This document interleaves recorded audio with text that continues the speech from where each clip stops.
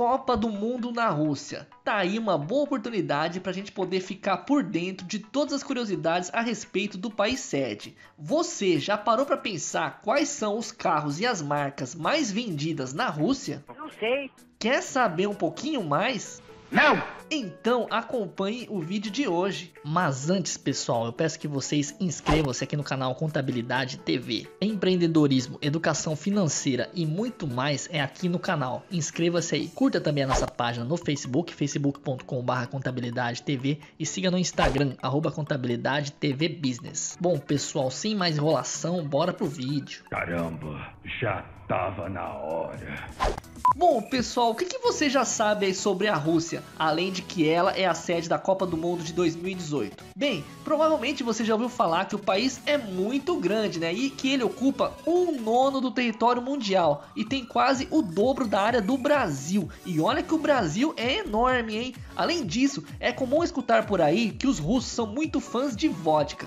Mas você conhece quais são os carros e as marcas automotivas que são sucesso de vendas por lá? Bom, de acordo com um levantamento realizado pela Association of European Business, a marca mais vendida por lá entre janeiro e maio deste ano é a Lada, também conhecido por Avitovaz, que é uma tradicional montadora russa. Ela já esteve presente aqui em terras tupiniquins, ela já esteve presente aqui no Brasil, acredite se quiser, quando fez sucesso no início dos anos 90 com o Jeep Jeepinho Niva. A segunda marca mais vendida é a sul-coreana Kia. E o terceiro lugar e quarto lugar ficaram por conta de duas fabricantes mundialmente conhecidas aí dos brasileiros, que é a Hyundai e a Renault, de maneira respectiva. Na lista ainda figuram a Skoda e a Gaz LCV. Apesar de não serem muito conhecidas por aqui no Brasil, a primeira aí, né, a Skoda, é uma das fabricantes mais antigas do mundo, tendo iniciado sua operação em 1925, lá na República Tcheca. E a outra aí, a Gaz LCV,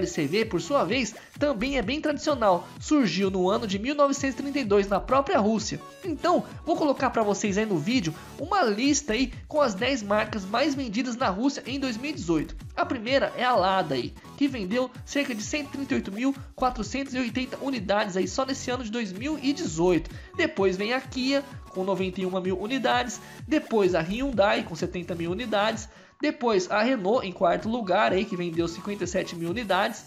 Quinto, Volkswagen, né, que vendeu aí 39 mil unidades esse ano de 2018. Em sexto temos a Toyota, muito conhecida aqui no Brasil também com Corolla e outros carros aí, né, que vendeu 37 mil unidades. Em sétimo temos a Skoda, depois vem a Nissan, depois a Gaz LCV e por último a Ford. Agora, já aproveitando este vídeo, vamos ver os 10 carros mais vendidos na Rússia em 2018. E vamos lá então, começando aí com o topo do ranking. O que mais vendeu é o Kia Rio. Depois vem o Lada Vesta, né, com 39 mil unidades. Em terceiro, o Lada Granta, que vendeu aí 36.490 unidades. Em quarto, o Hyundai Solaris, com 24.457 unidades. Em quinto, o Hyundai Creta, muito conhecido aqui no Brasil, com 24.456 unidades. Em sexto lugar temos o Volkswagen Polo com 24.697 unidades. Em sétimo, o Renault Duster, também muito conhecido no Brasil, com 17.294 unidades. Em oitavo, o Lada Largos com 17.143 unidades. Em nono, o Lada X-Ray com 14.086 unidades. E em décimo, o Skoda Rapid com 13.770 unidades.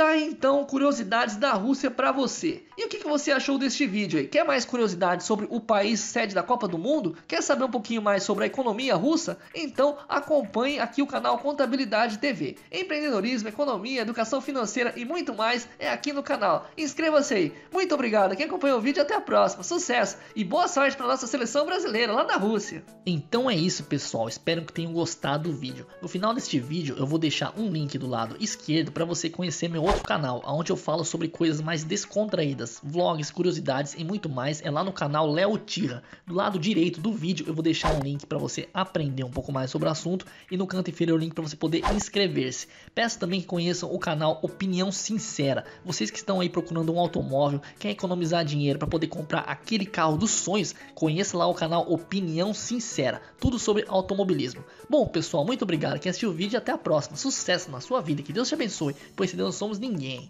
Você curte carros? Quer saber mais detalhes e curiosidades sobre vários modelos? Quer uma opinião imparcial e sincera? Então vem com a gente!